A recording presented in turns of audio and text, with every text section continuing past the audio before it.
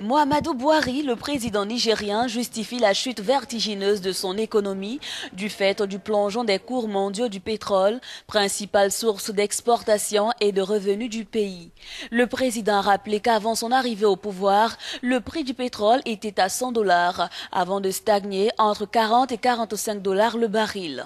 S'adressant au directeur exécutif et au sous-secrétaire général du Fonds des Nations Unies pour la population, Mohamedou Bouhari a admis que la chute spectaculaire des prix du pétrole au niveau international, de même que les attaques récentes contre les installations des oléoducs dans la riche zone pétrolière du delta du Niger, sont à l'origine de la souffrance du peuple nigérien. En effet, avec ces incidents, la production du brut du Nigeria a largement chuté, entraînant à plusieurs reprises la hausse du cours du carburant et produits pétroliers. Des augmentations qui ont alimenté à un certain moment la révolte des syndicats des travailleurs.